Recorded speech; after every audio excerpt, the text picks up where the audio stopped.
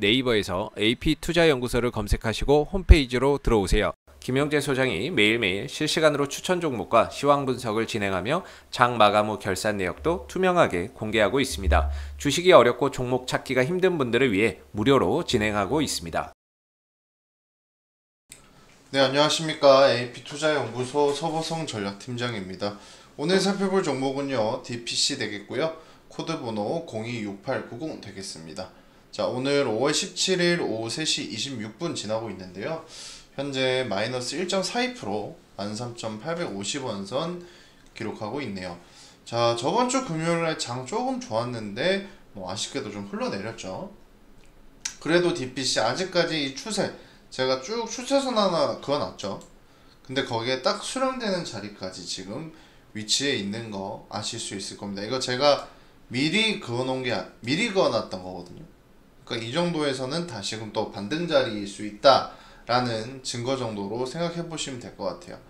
어, 뭐, 제가 DPC 여러 가지 말씀드렸는데, 지금 최근 차트만 보면, 이렇게 윗골이 계속 달리죠. 근데 이거는 이제 어느 정도 위에 매물 조금 소화, 조금 가볍게 만드는 느낌도 있어요. 조금 가볍게 느끼는, 뭐 좋게 생각하면요. 근데 뭐, 나쁘게 생각하면 좀 힘이 없는 거 아닌가? 라는 말씀도 드릴 수 있는데, 이제 워낙 DPC 같은 종목은 사실 뭐 제일 중요한 거는 창투사들 움직임이 어떤지가 제일 중요하겠죠. 그게 안 좋으면 전체적으로 그냥 안 좋다 선으로 생각을 하셔야 되는데 제가 볼 때는 DPC만큼은 조금은 어, 상승 여력이 아직까지 충, 풍부하다라고 생각이 들거든요. 그랩 상장부터 그리고 뭐 지금 하이브도 좋은 이야기들 많이 나오고 있잖아요. 하이브 한번 다시 볼까요? 제가 기억하는 그쵸. 하이브가 이 외인 매수세가 굉장히 좋습니다. 뭐 최근에 한 2거래일 정도는 외인이 좀 빠져나갔는데 음, 오늘까지도 외인이 좀 들어왔을 거라고 전 판단이 되거든요. 어, 아직까지 뭐 정확한 수치는 안 나왔네요. 어쨌든 하이브 계속해서 외인 매집 중인 종목이다. 라는 거 보시면 될 것 같고 DPC의 경우에도 어 물론 뭐 웨인 매집의 경우는 아니지만 하이브의 상승세에 좀 더 이렇게 날아가는 풍선 잡는 뭐 아이처럼 따라가는 경우가 생길 수 있습니다. 어 그거 꼭 참고하시고 사실 이런 날은 저는 개인적으로는 좀 뭐랄까요 어 저라면 오늘 같은 날은 좀 현금 보유를 하는 날으로 만들 것 같아요. 무슨 말이냐면 잠깐 저기 이제 좀 위험 관리랄까요?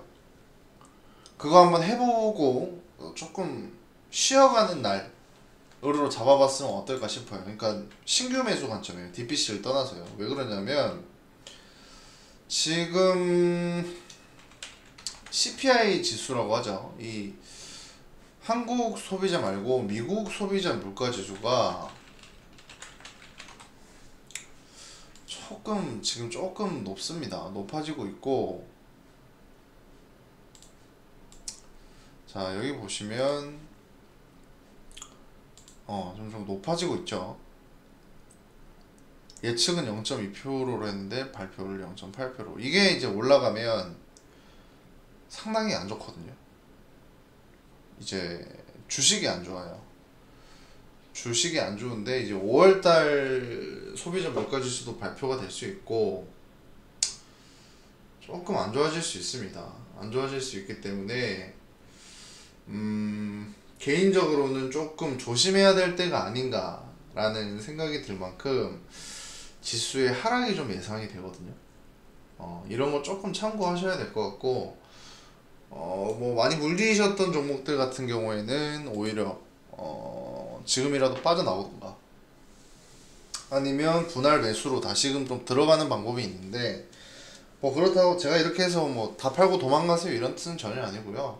앞으로 주가 좀 흔들릴 수 있다라는 어, 말씀드리는 겁니다. 뭐 최근부터 좀 흔들리고 있긴 한데 증시가 늘 좋을 수는 없거든요. 그러니까 최근에 주식 시작하시는 분들이나 어, 뭐 작년 코로나 기점으로 시작하신 분들은 되게 당황스러울 거예요. 어, 시장이 안 좋은 걸 처음 겪어보기 때문에. 근데 원래 시장은 이랬어요. 원래 시장은 늘 좋지 않았고 안 좋은 날이 더 많았습니다. 안 좋은 날도 많았고 좋은 날도 겹쳐서 있기 때문에 너무 걱정하지 마시고 주가를 너무 저기 지수도 제가 방금 뭐 짧게 말씀드렸는데 뭐 여러 가지 요인들 고려할 게 정말 많아요. 10년물 국채 금리 그리고 달러 가격 이런 것들 정말 비교해보고 이제 맞춰봐야 될 것들이 많지만 제 생각에는 기본적으로 음 그러니까 제가 늘 말씀드리는 게 대응의 영역이라고 말씀드리잖아요. 그러니까 DPC가 DPC를 여기에 물리신 분들은 분명히 매매가 잘못되어 있다고 저는 생각을 하거든요. 여기에 물려 있는 분들은 정말로 뭔가 습관이 잘못되어 있을 거예요. 그리고 이 가격대 정도에 물려 있는 것은 충분히 이해가 됩니다. 그렇지만 어, 여기서 한 번 더 샀어야 되기 때문에 이 중간 가격 정도는 와 있어야 되지 않나라는 생각 들거든요. 아니면 그냥 이 가격대였던가요?